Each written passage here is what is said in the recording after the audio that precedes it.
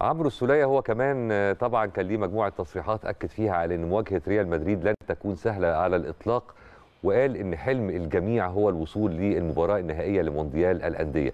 وقال نتمنى أن يكون كل اللاعبين في حالتهم الفنية والبدنية وسنقاتل من أجل الوصول للنهائي وتحقيق حلم كل الأهلاوية في كل مكان.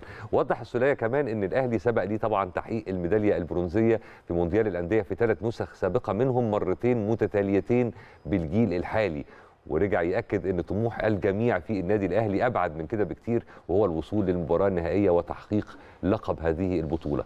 قال إن الأجواء في المغرب مميزة جدا وطبعا توجه بكل الشكر لجماهير المغرب الشقيقة على كل الدعم والمساندة اللي هم بيأدوها الحقيقة للنادي الأهلي وتمنى استمرار حضورهم في مواجهة ريال مدريد بأعداد كبيرة لمؤازرة النادي الأهلي كعادتهم.